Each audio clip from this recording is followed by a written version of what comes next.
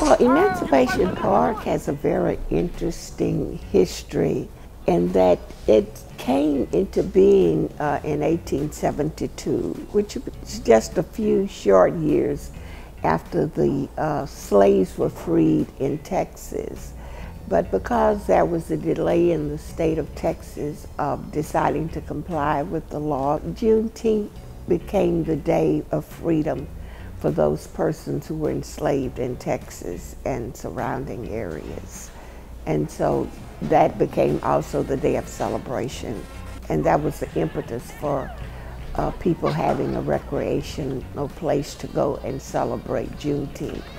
What's so interesting is that I'm from the city of Chicago. I'm from northern states where we don't have um, this rich history like embedded into our city. And I moved here and I realized that the largest ex-slave settlement in the entire United States is here in Houston. And I thought, oh my God, how do we tell that story? How do we make it um, how do we make it accurate and still make it entertaining? And so I set out to write this play that would inform people and get them as excited as I was about this land and legacy.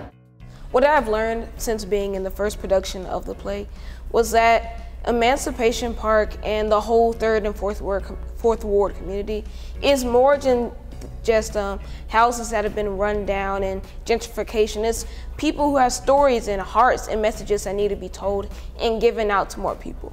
In All Thy Getting, the forgotten story of Freedmen's Town is this story of resiliency. It's a story of innovation. It's a story um, about the positive residual effects of slavery, if we can say that there are. And we have this unlikely community that forms out of despair. And it turns into this group of nurses and doctors and lawyers, um, something that Houston should really be proud of. Well, I think it's important to know that the community came together and the community worked together in order to bring us a park, a place where we could go for recreation. And to think that even though we were a people that had just been released from being in bondage and in slavery, we knew and understood how to get things done and how to work together. And in order to have the park, we knew that we had to work together as a community. And so therefore, it's important for us to remember that today and that in order to get things done again, we have to work together as a community. For me, the significance of emancipation, I mean, it's already embedded in me for being from Houston, but also it just helps me out knowing my culture better and knowing the people who helped raise up my city and being African American.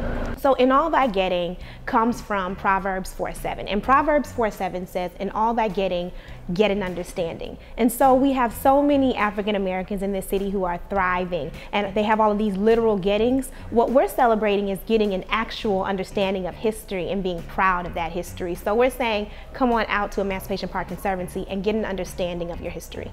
See you on Juneteenth.